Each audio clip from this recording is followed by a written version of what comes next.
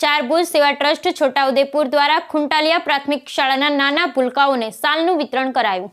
છોટાઉદેપુરમાં સેવાકીય ક્ષેત્રે અગ્રેસર એવી સંસ્થા ચારભુજા સેવા ટ્રસ્ટ દ્વારા હાલ પડી રહેલી કારમી ઠંડી સામે રક્ષણ મળે તેવા ઉમદા હેતુથી ખુટાલિયા પ્રાથમિક શાળાના ગરીબ બાળકોને સાલ વિતરણ કરવામાં આવી હતી. નવી સાલ મેળવી નાના નાના ભૂલકાઓમાં ખુશીની લહેર જોવા મળી હતી. આ પ્રસંગે ચારભુજા સેવા ટ્રસ્ટના અગ્રણી અશોક અજમેર, સાવરુ, મનીષાબેન અજમેરા તેમજ સંજય સોની ઉપસ્થિત રહ્યા હતા. કુલ બે હજાર બાળકોને સાલ વિતરણ કરવાના લક્ષ્યાંક સાથે ચાર ભુજા સેવા ટ્રસ્ટ દ્વારા આજરોજ ખુંટાલિયા પ્રાથમિક શાળાની એંસીથી વધુ વિદ્યાર્થીઓને સાલ વિતરણ કરાયું હતું. શાળાના પ્રિન્સિપાલ તેમજ સ્ટાફ દ્વારા ટ્રસ્ટની કામગીરીને બિરદાવી આભાર વ્યક્ત કર્યો હતો. Bureau report, Rehan Patel, Chhota Udepur.